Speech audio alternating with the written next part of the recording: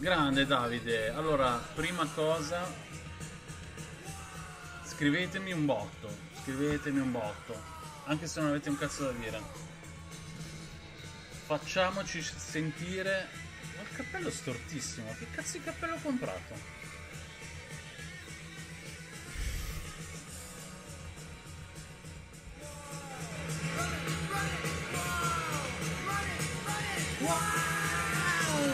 Questa la dedico a Dani, che si lamenta sempre che metto che metto rap, oggi Circle Jazz.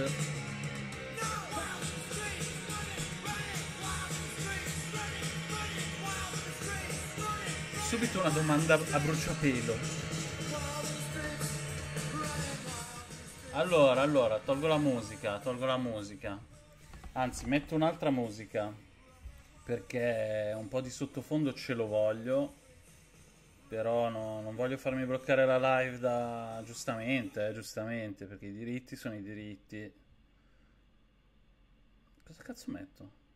Dove sono miei, le mie playlist, le mie, i miei album?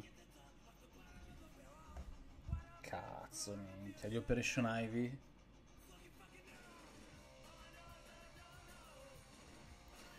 Allora, arrivo, eh. Metto la, questa qua che è tranquilla. Allora, benvenuti sul canale di Non aprite questo blog. Io sono il Gonz, felicissimo che siate qua con me. Scrivetemi in chat per dirmi cosa fate, se state morendo di caldo, se state morendo di freddo come me perché ho l'aria condizionata a palla. Oggi live dedicata a A Quiet Place 2 o 2, come diremmo noi italiani. Però senza spoiler, ragazzi, non vi preoccupate, chi mi conosce lo sa che sono in grado di rendervi l'esperienza estremamente piacevole e non rovinarvi il film. Sono, sono assolutamente contro gli spoiler. Eh, però si può parlare tranquillamente del film e farvi anche venire voglia di vederlo. A Quiet Place direi che è andato bene il primo film, no? Cioè è piaciuto abbastanza a tutti a me è piaciuto abbastanza, ma non è che mi avesse fatto impazzire. Ciao Dani, siamo in viaggio, ma ti stiamo ascoltando, quindi al posto di ascoltare Radio DJ, Radio Maria, lo Zodi 105, tutta questa robaccia ormai antiquata, ascoltate il Gonz che vi parla di cinema horror. Parliamo di A Quiet Place 2 e poi, se volete, rimaniamo a cazzeggiare all'infinito e parlare di cinema all'infinito finché non svengo. La prima domanda di Davide Perin è fighissima. Allora, quant- allora, carico per A Quiet Place 3, sì, perché eh, quando un franchise va bene bisogna subito partire con eh, il 3, il 4, il 5 e il 6, ma questa domanda ha una doppia risposta. Da un certo punto di vista ti direi sì, sono carico, nel senso che eh, per come è venuto il 2 ti direi va bene, facciamo anche il 3, soprattutto se lo, se lo dovesse dirigere ancora Krasinski. Per come si svolge la storia del 2, direi proprio di no. Ma su questo non vado oltre perché spoilererei il film. Quindi, per come, per quello che vedrete in A Quiet Place 2, non sono assolutamente d'accordo su un seguito. Detto ciò, non significa che un bravo sceneggiatore non possa invece trovare una chiave per raccontare una buona storia e fare un terzo film che non necessariamente debba essere eh, il proseguimento della storia della famiglia Abbott, che è la famiglia che vediamo nel primo film. Famiglia composta da madre, padre, due maschi, una femmina audiolesa cioè quindi non udente. E, e vabbè, lo dico, un figlio piccolo, penso, penso anch'esso femmina. Ecco, sappiate che questa live non è spoiler per chi ha visto il primo film, quindi non spoilererò il secondo film, quindi a Quiet Place 2 non lo spoilererò mai, ma Spoilererò eh, perché non posso stare troppo attento a questo. Il primo film di A Quiet Place. Quindi, se non avete visto il primo film di A Quiet Place, non guardate questa live. Ehm, venite a guardarla in seguito. Quindi la famiglia eh, Abbott, adesso mi ero anche segnato del, una specie di riassunto, no? nel primo film noi vediamo eh, che è già successo tutto, no? cioè sono già arrivati questi alieni sul pianeta Terra, eh, scopriamo che sono ciechi, scopriamo che hanno un udito incredibile, scopriamo che eh, i protagonisti sono la famiglia Abbott e, eh, e, inizia subito tragica la situazione perché perdono il bambino più piccolo, il maschio più piccolo muore. Muore perché non bisogna far rumore, quando ci si sposta bisogna essere molto silenziosi per non attirare questi alieni che sono arrivati sulla Terra ammazzano tutti gli esseri umani che fanno rumore, insomma, sono proprio un po' così, hanno un caratteraccio, perché insomma basta chiedere, no? Fai meno rumore. Invece no, questi ti ammazzano, ti distruggono, ti fanno a pezzi. Insomma, sono anche piuttosto corpulenti, sono grossi, sono... Poi parleremo anche di come sono fatti gli alieni, che li vediamo completamente nel primo film, quindi non è uno spoiler, eh, perché li vediamo nel primo film e li rivedremo nel secondo film e lì non c'è niente di nuovo, sono gli stessi alieni, chiaramente. Eh, la famiglia si rifugia in una casa si rifugia in una casa dove più o meno riesce a continuare a vivere grazie al fatto che parlano tutti il linguaggio dei segni. Perché la figlia, che battutaccia Gonz, ma io sono pieno di battutacce. Eh, mi è venuta in mente una barzelletta che mi ha detto Giona ieri. Qual è il maiale che non vuole mai andare a dormire e che è peggio della mia? Il maialetto. Eh, eh, vabbè, è una, è una, battuta da bambini, però devo dire che è sulla buona strada per diventare un pessimo comico come il padre. Eh, allora, vivono e riescono a sopravvivere anche grazie al fatto che parlano il linguaggio dei segni, che è il linguaggio che hanno dovuto imparare perché ha, eh, hanno nel, tra i membri della famiglia appunto una bambina audiolesa, una ragazzina dopo questa esco, eh, quindi, quindi, stai insultando l'umorismo di mio figlio, grazie. Eh, quindi, poi vabbè, chiaramente le cose si mettono male e ci sarà il sacrificio del padre che morirà per salvare l- la sua famiglia o quel che ne resta, insomma. Nel frattempo la madre avrà partorirà eh, questo neonato e qua se la storia si fa veramente interessante perché eh, il padre muore, lei partorisce, forse in una delle scene più belle del film, cioè proprio quella del parto, dove tutti quanti vedendo il film ci chiediamo: ma, ma come, fa, come, farà il bambino? Cioè, i bambini quando nascono, la prima cosa che fanno è uè, uè, urlare, piangere, urlare come dei matti. Quindi, insomma, primo, questo, questo evento qua ci ha incuriosito tutti tantissimo. Ed è forse il, la parte più divertente del film, no? quella con più tensione, più... è gestita anche piuttosto bene. La cosa che tutti ci siamo chiesti è: ma come farà a vivere in un mondo di mostri ultra mm, sensibili al rumore con un bambino neonato che nelle sue prime fasi di vita eh, usa proprio il pianto come, come, strumento di comunicazione per avvisare i genitori quando ha fame, quando ha sonno, eccetera, eccetera. Come faranno? E, e questo sicuramente mi ha fatto incuriosire, mi ha fatto dire, bah, un seguito ce lo vedrei benissimo in questo universo. Universo che, eh, tra l'altro, è molto simile a un film che si chiama The Silence con Stanley Tucci, che trovate su qualche piattaforma di streaming legale è un film, tra l'altro, anche quello abbastanza dignitoso, se non fosse che i, i mostri sono veramente ridicoli, sono dei polli, eh, non, non, mettono veramente paura. Eh, questo rovina particolarmente la, la, pellicola.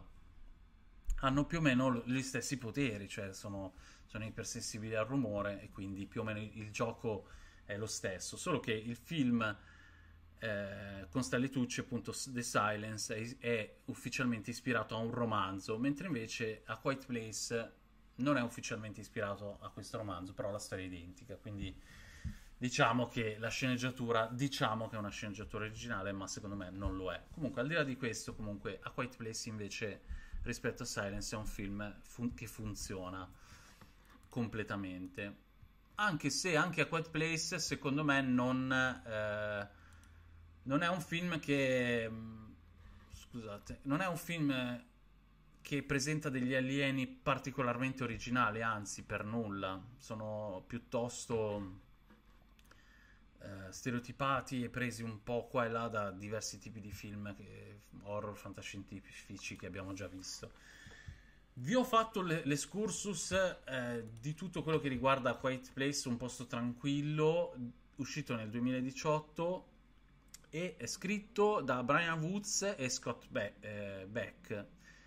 Questo nuovo film, invece, Quiet Place 2, è scritto totalmente da... Eh, cioè, totalmente, insomma, è preso in mano da, da, da John Krasinski che l'ha diretto e scritto. E devo dire che ha fatto un buon lavoro.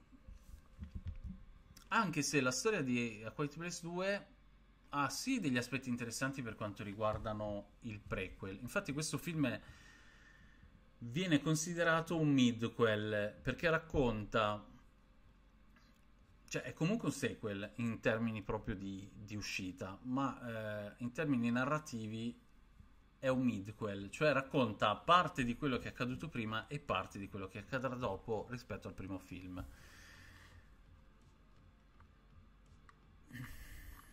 Sono rimasto veramente sorpreso da, da questo film. La sceneggiatura non è complessa, cioè quello che accadrà eh, non, non, accadranno tante cose particolari, però eh, avremo la sensazione che succedano tante cose. È molto, è molto strano da definire. Eh, ciò che conta, secondo me, se voi, riusci- se voi, riuscirete vedendolo al cinema a entrare nella scia, diciamo, narrativa, quindi a non distrarvi, perché ci vuole molta concentrazione in questo, è un film che ti prende per mano e ti fa fare un volo pazzesco perché ogni, ogni situazione è studiata molto bene, molto bene per portarti piano piano ad avere un, una notevole ansia. Mm, credo che non mi capiti veramente da anni di andare a, a vedere un film che comunque dura un, un tem- a parte che dura un tempo dignitosissimo perché dura eh, 97 minuti quindi non è estremamente lungo però non è neanche un film breve. Non mi, non mi capitava da secoli di vedere un film e rimanere col fiato sospeso come dice proprio la insomma la frase che usano per promuovere il film col fiato sospeso per tutti i minuti del film dall'inizio alla fine ci sono solo delle piccole pause che sono, se ci fate caso, sono messe nei punti giusti e sono pause che vi garantisco che se non ci fossero questo film veramente potrebbe portare a, a, all'infarto qualcuno che magari è debole di cuore perché veramente ti tiene ti, ti mette un'ansia incredibile. E, e lo fa semplicemente giocando con i tempi, cioè usando alla perfezione i tempi di ciò che accade. È tutto studiato alla perfezione, è incredibile. La sensazione che ho avuto io è che John Krasinski sia un regista che uno che ha un margine di miglioramento enorme, perché ha fatto vedere che rispetto al primo film è migliorato tantissimo nella gestione proprio della suspense, la sa costruire molto bene e sa dare il giusto riposo allo spettatore per poi ricominciare da capo. Vi assicuro che starete con... Eh, io mi sono accorto mentre guardavo il film che, che tenevo il bracciolo della poltrona, lo tenevo con la mano, cioè lo, mi, mi, tenevo al bracciolo. E, è una cosa veramente incredibile perché il cinema mainstream ultimamente non è così... Eh, emozionante, così mh, mm, curato, così professionale. Cioè, è difficile trovare film fatti bene nel cinema mainstream. Anzi, è molto più facile trovarli nel cinema d'autore o nel cinema indipendente, trovare film che hanno comunque altre caratteristiche, però che dici, vabbè, sono fatti bene. Questo, questo questo è veramente uno dei primi film da tantissimi anni, mainstream, quindi alto budget, eh, di una grossa casa di produzione, che io ritengo un ottimo film horror, un ottimo film. Stando dietro la telecamera e non davanti, secondo me ha avuto più tempo per dedicare alla regia. In realtà lui ehm,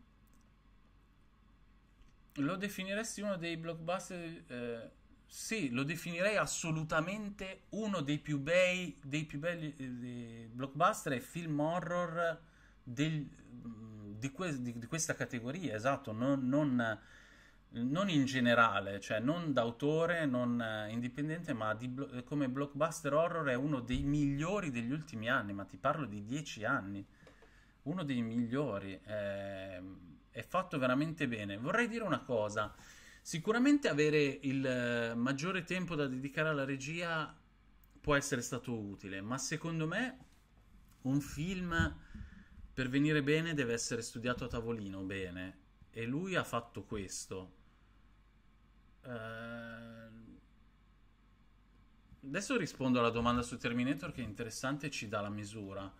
Uh, io penso che comunque abbia curato molto meglio la regia, ma per avere dei tempi così bisogna studiarselo nella sceneggiatura così, cioè è la sceneggiatura che ha un'ottima eh, degli ottimi tempi e gli accadimenti e l'escalation, cioè che c'è questa sorta di mh, eh, narrazione che ti porta proprio a aumentare l'ansia sempre di più fino a un certo punto, fino, a, fino all'esplosione poi dopo ti, ti, lascia riposare, poi ricomincia da capo e tu arrivi alla fine del film senza neanche un momento in cui ti annoi, perché è veramente tutto molto studiato nei tempi. Quindi, anche se lui comunque una particina la fa piccolissima, perché essendoci la parte prequel lo si vede, si vedrà lui eh, prima che arrivino gli alieni interagire come padre, eccetera, eccetera sono anche molto carino all'inizio, molto eh, frenetico, molto frenetico anche all'inizio, ricorda molto mm, eh, come si chiama? Il film degli alieni con Tom Cruise, eh, insomma era, era, fatto veramente molto bene dal punto di vista della regia e del, del montaggio, insomma era, era fatta bene quella dinamica lì. Non mi ricordo come si chiamava, se era eh, la Guerra dei Mondi forse, eh, con Tom Cruise era, era, una bella scena iniziale. Ecco, la scena iniziale di A Quiet Place 2 ricorda un po', un po quel film lì. Eh, comunque sì, in effetti in, in, termini di minuti lui c'è poco davanti alla telecamera e sicuramente questo gli ha permesso di, di, di curare meglio la regia, ecco. Riguardo a Terminator 2, che cazzo hai preso un un, te- un, un, film estremamente riuscito, forse uno considerato tra i, i sequel più riusciti al mondo. Io quando l'ho visto ho pensato, cavolo, ha fatto un film più bello del primo, cioè Krasinski ha fatto un film più bello di quello che aveva fatto prima. Non è una cosa banale, perché eh, se non sbaglio, Terminator 2 non è dello stesso regista di Terminator, no? Adesso provo a aiutarmi con... Eh, adesso, anche perché io sono abbastanza, appunto, smemorato, no? Terminator è, è, di John Cameron, James Cameron, scusate, e Terminator forse anche quello di James Cameron. Adesso faccio, faccio una gaffa. Terminator 2 è sempre... vediamo. È sempre... Sì, no, no, è sempre di Ok, è sempre di, di, Cameron, no? Quindi Cameron è il... Eh, che non mi è venuto in mente che Terminator 2 era dello stesso regista, no? Comunque è, è un caso eclatante, no? Che non, non, tanto che un sequel sia migliore di un, di un, film precedente, ma che sia lo stesso regista a farlo migliore. Quello è, è una cosa abbastanza rara.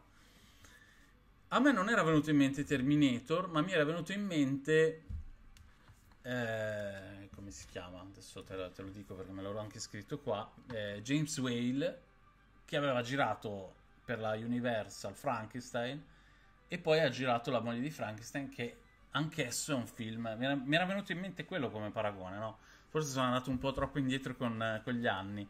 Però effettivamente hai ragionissima anche tu, Davide. Cioè, è, è proprio lo stesso medesimo caso, però Terminator 2 ha una particolarità.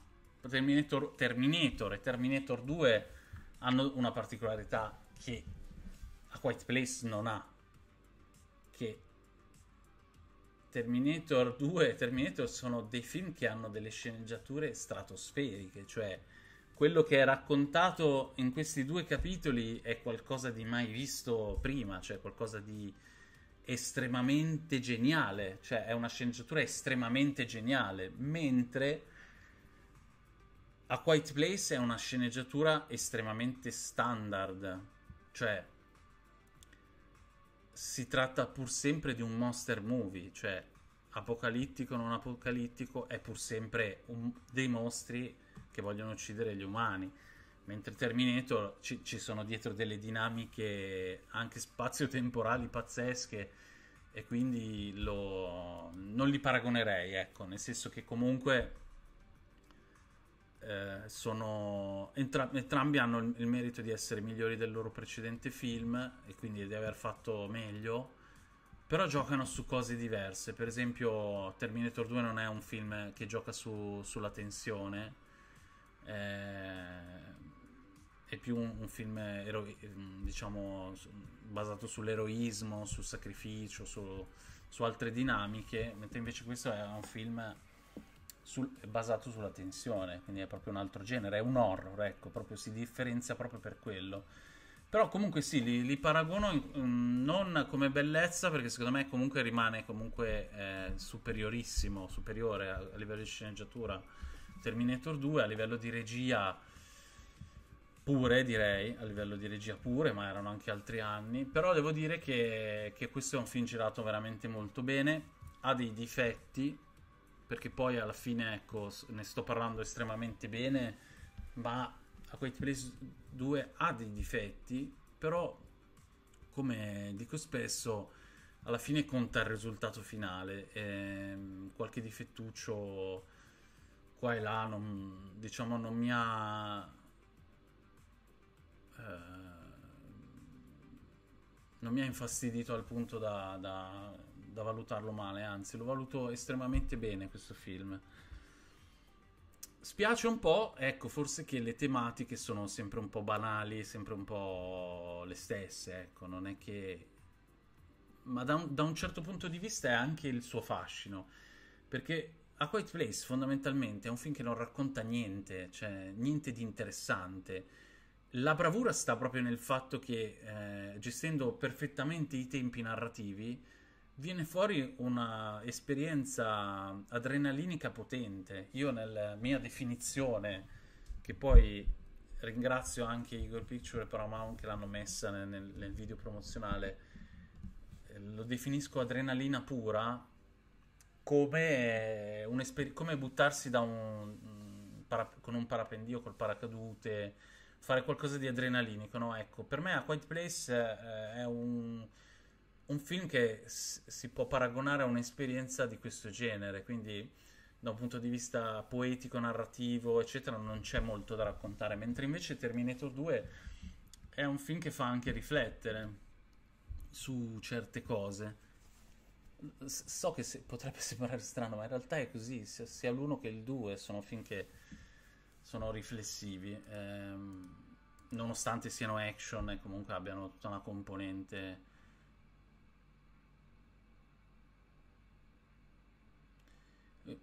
Adesso poi non vorrei divagare parlando anche di altri film, poi magari dopo parlo anche di altri film eh, come i Goonies, eccetera, cosa ne penso, però cerco, cerco di rimanere tro- un po' più su, sul film in questione, poi dopo se volete anche divago e parliamo anche di altri, di altri film. Mm.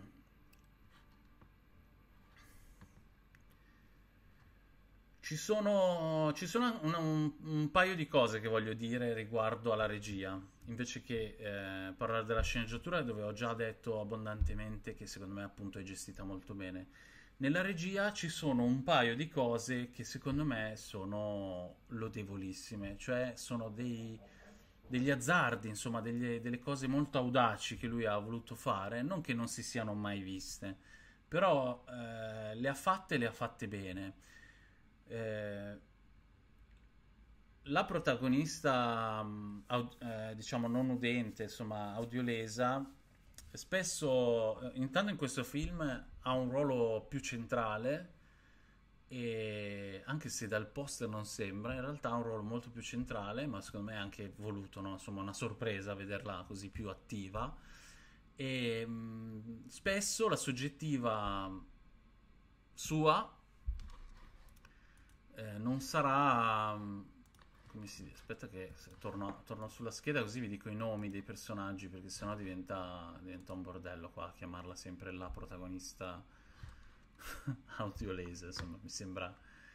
eh, Reagan si chiama Reagan Abbott, il personaggio di suo. eh, avrà una- delle, delle soggettive. Noi siamo abituati a vedere le soggettive video, no? Cioè, cosa significa? La telecamera impersona noi stessi, noi, noi siamo dentro la telecamera e quello è il nostro punto di vista.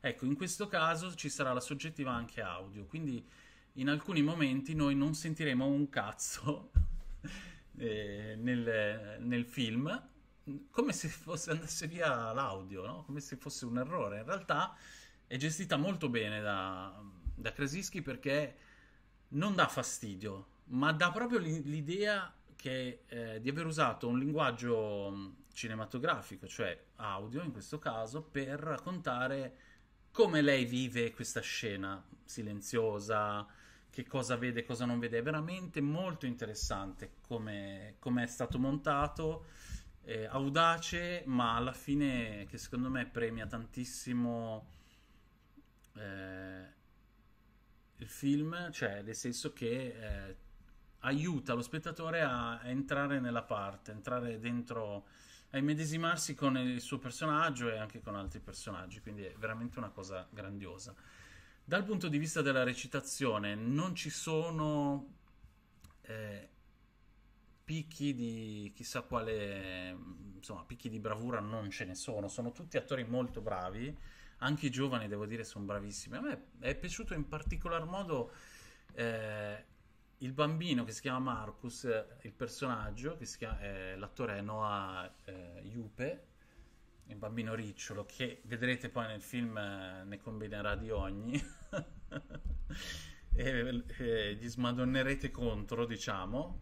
Mm, Al, al di là del fatto che gli smado- eh, smadonnerete contro, eh, è molto bravo secondo me lui. È, molto bravo a esprimere la paura, eh, tutta una serie di, di- eh, di cose tra- tramite l'espressività. Molto bravo. Molto brava anche lei, molto brava anche Emily Blunt. Cioè, insomma, gli attori sono tutti sono tutti di alto livello, ecco, però non... eh, ecco, io ho avuto la sfortuna, ho avuto la sfortuna di non vedere il film in lingua originale perché la prima anteprima stampa a cui ero stato invitato ehm, ci fu un problema di corrente, insomma, è saltata la corrente in tutto il quartiere e il cinema non poteva proiettare il film. Quindi quando sono andato alla seconda chiamata, la seconda anteprima, mi hanno eh, mi hanno ci hanno proposto il film doppiato, quindi per me è stato un dispiacere. Però, nonostante fosse doppiato, io eh, ho, ho gradito il film ed è, questa è già sicuramente una, una cosa a favore, perché di solito io non amo molto i doppiaggi. Eh, adesso, adesso vi dico cosa ne penso dei personaggi. Eh, ci sono, c'è questo, diciamo, questa aggiunta, no? Via, via Krasinski, perché comunque c'è solo nella parte prequel, eh, ed entra, mm, come si chiama? Adesso non mi ricordo, qua non c'è chiaramente. Eh, Cillian Murphy, che è l'attore che tutti noi conosciamo come l'attore di 28 giorni dopo, e eh, vabbè, del recentissimo Peaky Blinder, che è una serie che mm, ha avuto molto successo. Cillian Murphy, mm, secondo me, ha una dote naturale. Ha una, una faccia, un'es- un'espressione degli occhi molto, molto espressivi, molto doloranti, no? Lui nel ruolo della persona dolorante, della persona ferita, eh, riesce molto bene. Quindi mh, fa un personaggio e va, diciamo, a sopperire a quella figura maschile che manca, adulta, che manca perché lui, perché il padre della famiglia Abbott. Lì Abbott è morto nel primo film, quindi mh, ci voleva in qualche maniera.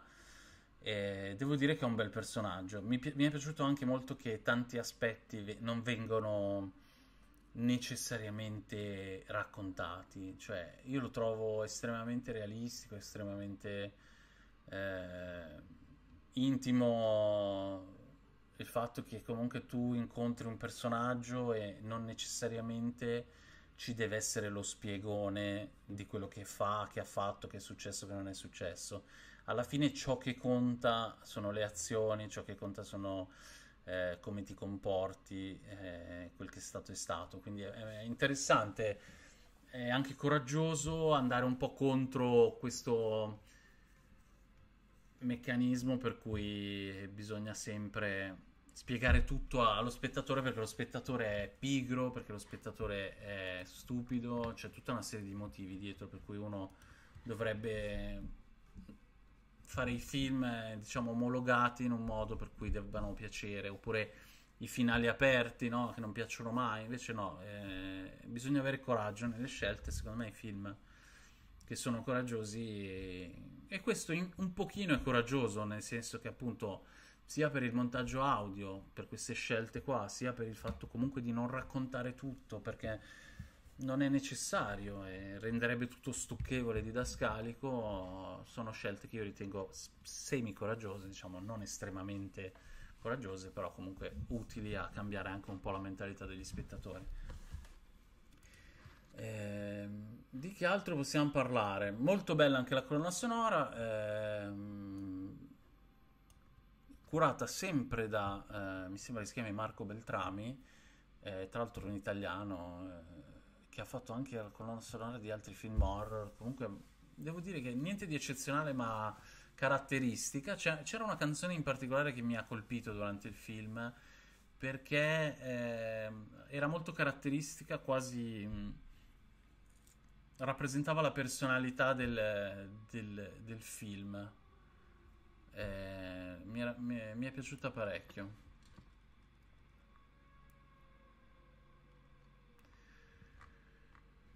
No, non so, vi lascio, vi lascio anche se avete qualche domanda, diciamo, per avere un quadro migliore. Eh, se no, direi che la posso anche chiudere qua la recensione. Poi possiamo sempre parlare anche di altri film inerenti a questo. Eh,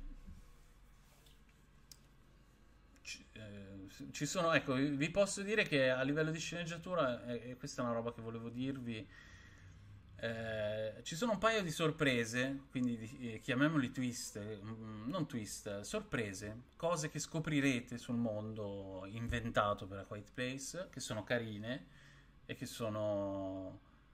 Eh, renderanno, diciamo, intrigante la storia, cioè... Vi, mm, aiuteranno anche diciamo, a non annoiarsi troppo perché ci saranno delle cose da scoprire quindi eh, devo dire che è gestito tutto molto bene. No assolutamente no, eh, non, non, non lo so.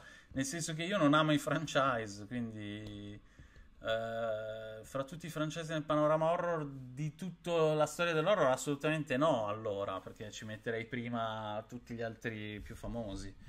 No no anzi però posso dire che io ritengo comunque che una, una saga come A Quiet Place ha molto più senso di esistere che una saga come The Conjuring perché comunque uh, The Conjuring è, è, un finto universe, cioè un universo che uh, mette insieme una cozzaglia di robe che non c'entrano niente l'una con l'altra. Uh,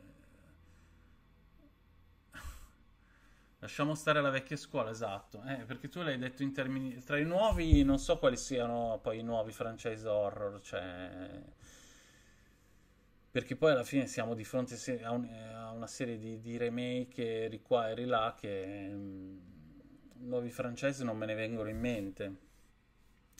Diciamo che non amo i franchise e per me a Quiet Place potrebbe anche interrompersi qua tranquillamente.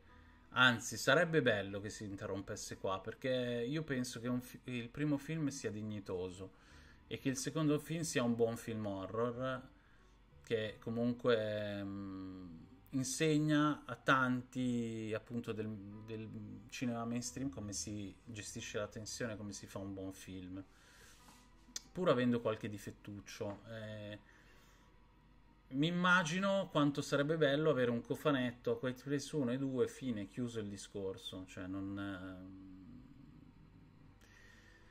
non, non, ne vedo la necessità, anche perché appunto dicevo, il, il mondo di A Quiet Place è, è, talmente banale, cioè di una banalità estrema, non è così affascinante come, come, potrebbe sembrare. Non è affascinante, per esempio, come abbiamo detto prima, come il mondo di, di Terminator, perché non ha lo stesso fascino.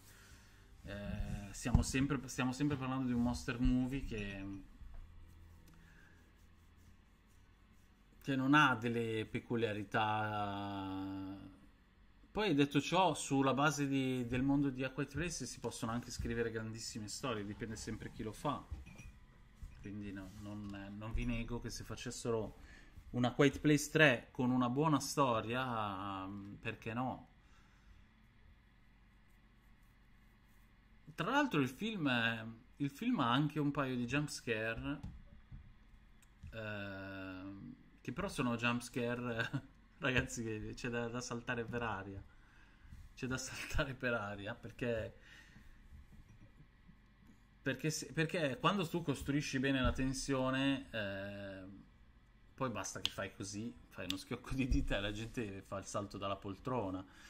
Eh, mentre invece i jumpscare che, che tu vedi fatti male sono quelli dove si fa semplicemente uscire una cosa mostruosa di punto in bianco eh, allora, The Conjuring gli darei fuoco a tutta la saga. Insidious non l'ho ancora vista perché sto cercando il primo, gli altri due sono disponibili. Sinceramente, di spendere i soldi per comprarmeli e poi dopo ritrovarmi una saga di merda, no. Quindi Insidious aspetterò di vederla magari su Netflix o dove la trovo. Halloween è una saga che tutto sommato mi è piaciuta. Annabelle fa parte del Conjuring Universe nel senso non la considero neanche un franchise. Come si fa a fare un franchise su Annabelle? Letterface Remake mi è piaciuto, magari un giorno vi dirò anche perché. Cloverfield è una... Cloverfield mi è piaciuto il primo, mi è piaciuto Cloverfield Lane, Ten Cloverfield Lane, non mi è piaciuto il terzo che secondo me Paradox, che secondo me non c'entrava una mazza. Unfriend e Paranormal Activity ne farei tranquillamente a meno però sul mondo del, di internet eh, si potrebbe fare qualcosa di buono perché è un, un mondo nuovo dove, dove, ci sono tanti temi da esplorare, si potrebbe fare una saga, ma per me non è necessario fare dei franchise o delle saghe, eh, semplicemente sono, mm, sono, bacini su cui le, le, persone possono andare a prendere fare, e scrivere una storia. Perché deve essere necessariamente una saga? È una questione di marketing, cioè la, la saga ti permette di, di, portare al cinema le persone solo tramite un nome, quindi spendi meno in, in, in pubblicità e, e, nel far conoscere il prodotto. Eh, anch'io amo tantissimo il cinema, eh, le cose che si concludono, che hanno una fine, perché secondo me è molto legato alla nostra psiche come esseri umani. Noi siamo il nostro più grande. Noi eh, viviamo di, di, grossi grandi sentimenti. Il nostro più grande sentimento è la paura, no? La paura di morire. La paura di morire è colu- qualcosa che ci, ci, ci, spinge a fare delle scelte. Eh, quindi qualunque cosa finisca ci ricorda che dobbiamo morire. Cioè uno, una relazione con qualcuno, un pacchetto di patatine che finisce, un film che finisce, una serie che finisce. Tutto ciò che finisce ci deprime eh, quindi eh, saper accettare la fine di qualcosa è un atto di grande maturità, anche nel cinema. Saper accettare la morte è un grande atto di maturità. Ora non dico che uno non debba desiderarla perché è così maturo che... però ehm, la, no- la nostra esistenza come esseri umani è proprio votata al non accettare la morte, quindi ci, ci, facciamo il lifting, ci trucchiamo, ci tingiamo i capelli, si diventano bianchi, eh, non accettiamo tutta una serie di cose e quindi non accettiamo neanche i film che finiscono male e non accettiamo i film che finiscono, le serie che finiscono, le conclusioni delle cose. Ci, ci tormenta questa, questa cosa. E io lo capisco, però preferisco interloquire con persone più mature che hanno la voglia di, di assumersi questa responsabilità. Eh, ogni cosa ha un suo tempo e questa roba non l'accettiamo. Noi eh, siamo come tutto il resto.